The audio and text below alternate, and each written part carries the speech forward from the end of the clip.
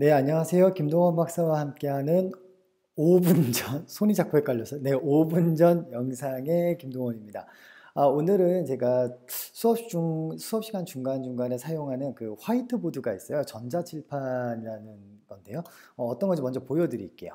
네, 이렇게 화이트보드라고 네, 이런 전자칠판이 있습니다. 이 전자칠판을 어떻게 사용하는지 궁금해 하시더라고요. 제가 색상을 예를 들어서 이렇게 하트도 그릴 수 있고요. 뭐 이렇게 스마일도 그릴 수 있고요.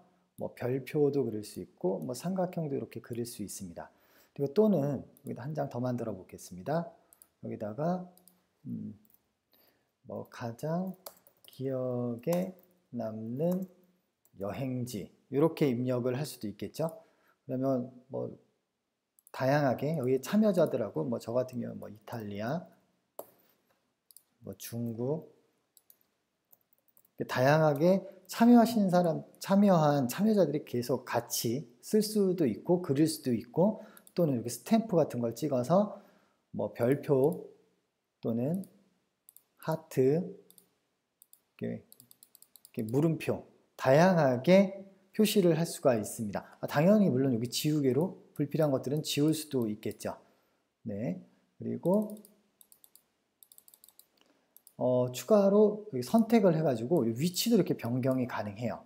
예를 들어서 얘 같은 경우도 하트를 저는 이렇게 위치도 변경이 가능합니다. 네. 그리고 이 추천 버튼을 누르시면은 레이저 포인터로도 사용이 가능하고요. 이렇게 레이저 포인터로 사용도 가능하고요. 화살표를 선택을 하시면 이탈리아, 중국 뭐 이런 데다가 어떤 것들 제가 이 화이트보드에 작성한 것 중에서 네, 피, 그 보여주고 싶은 곳에 같이 청중들의 그 시선을 이쪽으로 이동하게 하는데도 사용이 가능합니다. 어, 이렇게 만들어진 이렇게 만들어진 화이트보드는 총 20개까지 전자칠판으로 사용이 가능하고요. 지금처럼 공유가 중지가 돼서 다시 저랑 같이 이렇게 수업을 진행을 하다가 어, 다시 전자칠판을 꺼내서 보게 되면은 앞에 작성한 내용은 이 회의가 끝날 때까지 계속 남아 있습니다. 단, 이 회의가 끝날 때까지 남아 있고요. 단, 회의가 종료되면 사라지겠죠. 물론 자동으로 저장하는 옵션이 있기는 한데, 어, 제가 추천드리는 거는 여기 보면 저장 버튼이 있습니다. 이 저장 버튼을 누르면 컴퓨터에 그 화이트보드가 저장이 된다라고 말씀을 드릴 수 있겠습니다. 그래서 화이트보드 내용을 다시 정리를 조금 하면은 음, 저 같은 경우는 화이트 제가 강의 제가 강의 진행하는 스타일에서 화이트보드가 아주 많이 쓰이진 않아요. 하지만 화이트보드 처음 시작할 때 같이 이렇게 공동으로 무언가를 같이 적을 수 있고 또 어, 수업 중간중간에 분위기 전환을 할 때 뭐 오늘 어떻게 저녁 메뉴, 점심 메뉴는 뭘로 한번 해보시겠어요? 이런 것들 적으면서 좀 분위기 전환용으로도 좀 많이 사용을 하고 있습니다. 화이트보드의 기능을 사용하는 방법은 아주 간단합니다. 요 밑에 여기죠? 여기 화면 공유를 클릭을 해주시면은 지금처럼 메뉴들이 뜨고요. 그 옆에 화이트보드라고 있습니다. 저는 전자칠판이라고도 주로 하는데요. 얘를 실행시키는 방법은 한번 클릭하고 공유 버튼을 눌러주시거나 더블 클릭을 하게 되면은 바로 이 화이트보드가 이렇게 실행이 되고요.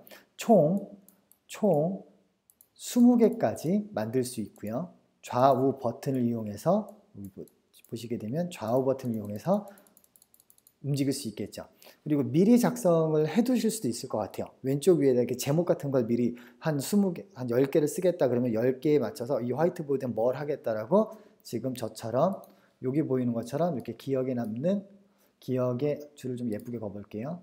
주에 남는 여행지 그리고 여기는 그리고 싶은 도형 이런 식으로 좀 미리 써두실 수도 있을 것 같습니다.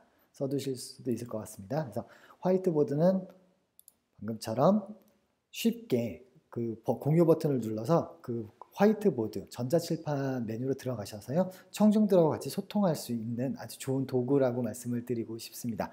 네, 김동원 박사와 함께하는 네, 5분 전 영상이었고요. 어, 본 영상에 질문을 주셔도 좋고요. 저한테 뭐 카카오톡 개인톡을 주시거나 아니면 다른 그 뭐 연락을 주셔서 또 질문을 주시면은 제가 이렇게 5분 안에 만들 수 있는 영상으로 만들어서 한번 같이 공유를 해보도록 하겠습니다. 네, 김동원 박사의 5분 전이었습니다. 감사합니다.